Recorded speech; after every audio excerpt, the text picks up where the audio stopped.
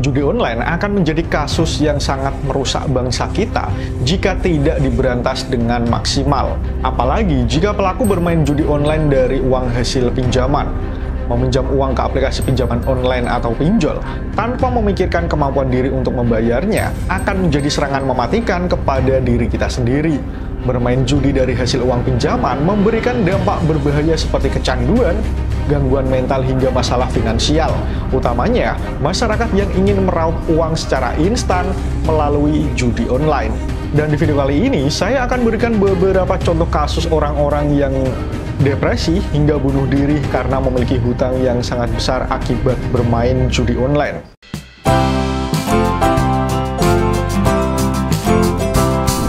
Pertama, Kepala Cabang Pengiriman JNT. Terjadi pada 10 Mei 2023. ALG dilaporkan ditemukan tewas gantung diri di kantornya Tambora, Jakarta Barat.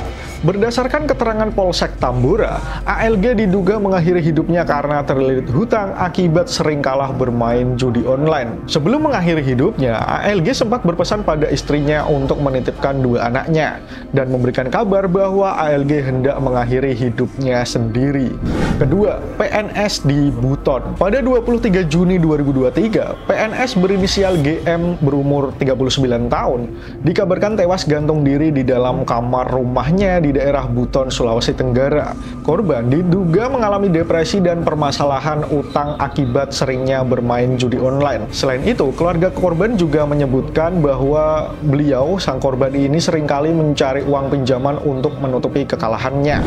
Ketiga, pegawai IKN. Pada 4 Juni 2023, 2023, seorang pria berinisial AA 33 tahun, pekerja di ibu kota negara Kalimantan Timur, mengakhiri hidupnya dengan cara tragis akibat terlilit pinjaman online. Kapolsek setempat mengatakan jika AA ditemukan tewas tergantung di kontrakannya. Hasil penyelidikan kepolisian sendiri, diketahui korban kecanduan bermain judi online dan terlilit hutang pinjol untuk modal bermain judi slot. Naasnya, utang korban semakin menumpuk dan tak mendapatkan hasil dari judi online untuk melunasi hutang-hutangnya tersebut.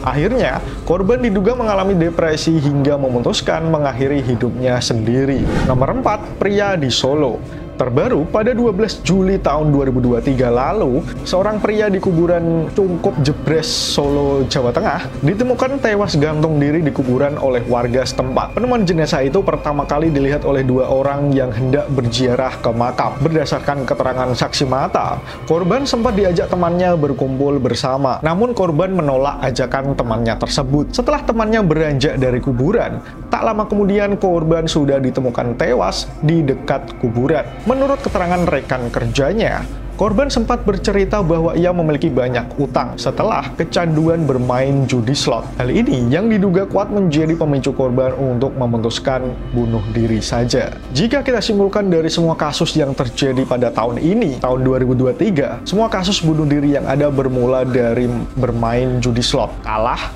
lalu hutang untuk modal bermain lagi. Uang yang ada lalu dibuat main lagi. Namun sialnya kemenangan hanyalah ilusi mutlak yang dibuat bandar untuk membodohi pemainnya. Layaknya bermain di lingkaran setan, judi slot dan pinjaman online menjadi perpaduan yang sangat mematikan. Tidak akan pernah ada kemenangan dalam bermain judi. Justru, kekalahan adalah hal yang mutlak saat kalian memutuskan untuk bermain. Untuk kalian yang belum bermain judi, jangan pernah mencoba-coba.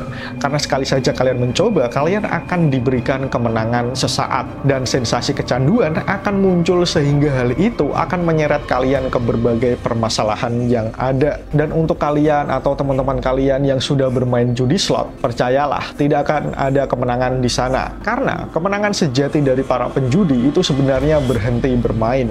Jika ingin kaya raya ya bekerja, bukan bermain judi. Depresi bukanlah soal yang sepele, jika kalian merasakan tendensi untuk melakukan bunuh diri atau melihat teman atau kerabat yang memperlihatkan tendensi tersebut, sebaiknya sangat amat disarankan untuk menghubungi dan berdiskusi dengan pihak terkait yang mempunyai kemampuan untuk mengatasi hal tersebut seperti psikiater atau psikolog atau ke klinik kesehatan jiwa. Dan mungkin segini saja untuk video kali ini. Sebenarnya ini video unek-unek saya karena saya resah dengan lingkungan sekitar saya yang selalu bermain judi slot ini. Jika kalian suka pembahasan video ini, jangan lupa like, komen, dan share ke sosial media kalian. Akhir kata, terima kasih sudah menonton video hingga akhir. Sampai jumpa di video selanjutnya. Dah.